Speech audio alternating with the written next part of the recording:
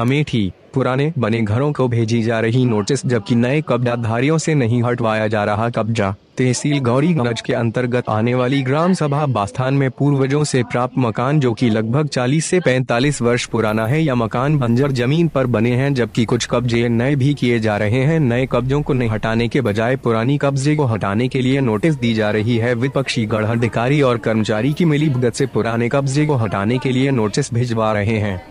अमेठी से संवाददाता लक्ष्मीकांत मौर्य की रिपोर्ट। है।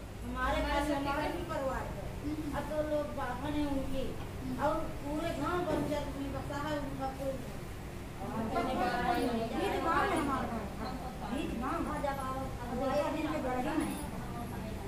थोड़ी दूर छोड़ के और थोड़ी दूर नापा था और पूरा छोड़ दिया। हमारे सब इधर निकाल दिया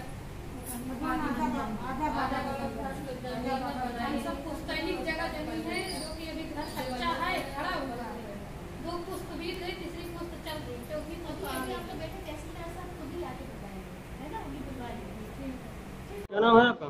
मेरा नाम जयशंकर मिश्रा है। आप कलेक्टर यहाँ हैं क्या है पूरा मामला हमारे पिताजी के नाम जो कि हमारी संपत्ति पैतृक संपत्ति में बना हुआ खाते की ज़मीन पर उस पर भी नोटिस भेजी जा रही है। एक आदमी दो बार बेदखली हुई उसमें कोई कार्रवाई नहीं की। जब ये हम लोग हाई कोर्ट पहुँच गया एक आदमी तब ये लोग जो सत्तर साल पुराने घर हैं उनको बेदखली की नोटिस भेज रहे हैं। जबकि एक साल पहले अभी वो घटा की नपद भी नहीं की गई है तो नोटिस किस बेस पे भेजी जा रही है? और जिसका उसमें कोई कब्जा ही नहीं है उसको भी नोटिस भेजी जा रही है जो कि अलीगल है। आज आप कलेक्टर आए हैं। तो क्या आपको आश्वासन मिला है आपको अब औरतें डीएम साहब के पास गई है वो बोले हैं देखेंगे बाकी देखिए क्या करते हैं। इसके पहले भी एक साल पहले आए थे डीएम महोदय ने आदेश दिया था कानून को। लेखपाल ने कोई कार्रवाई नहीं की।